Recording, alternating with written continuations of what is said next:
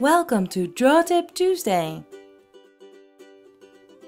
Why is it so scary to draw portraits? Maybe because you're afraid they will look weird, or maybe because they won't look like the person you're drawing? Well, so what? I'm drawing a self-portrait here, with a photo for referral. That's kinda scary, yes, because I don't think I ever made the perfect self-portrait, even though I did it a lot and really tried, believe me. I think I drew many, many people who look like me, but just aren't me. There will be some resemblance in each of them, but some look like non-existing sisters, far family members, old women, and yes, some even look like men.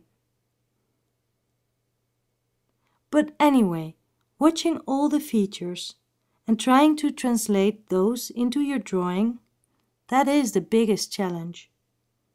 You will see when you try that many of the features are really spot on. But it's the combination of everything that makes it a whole. Don't worry about the outcome, because it's so much fun to just look at every little detail in the face that you're drawing. The shadows, the small hairs, eyebrows, wrinkles, a twinkle in the eyes. Well, just enjoy that.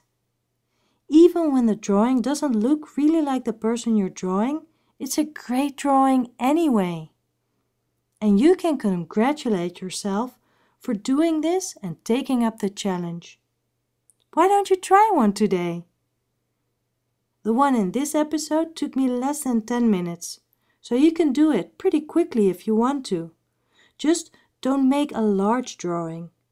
Start with a thumbnail sketch, for example, and let your portraits grow both in size and quality each time you do one. Enjoy! Make awesome art and find your class over at koosjekoene.nl.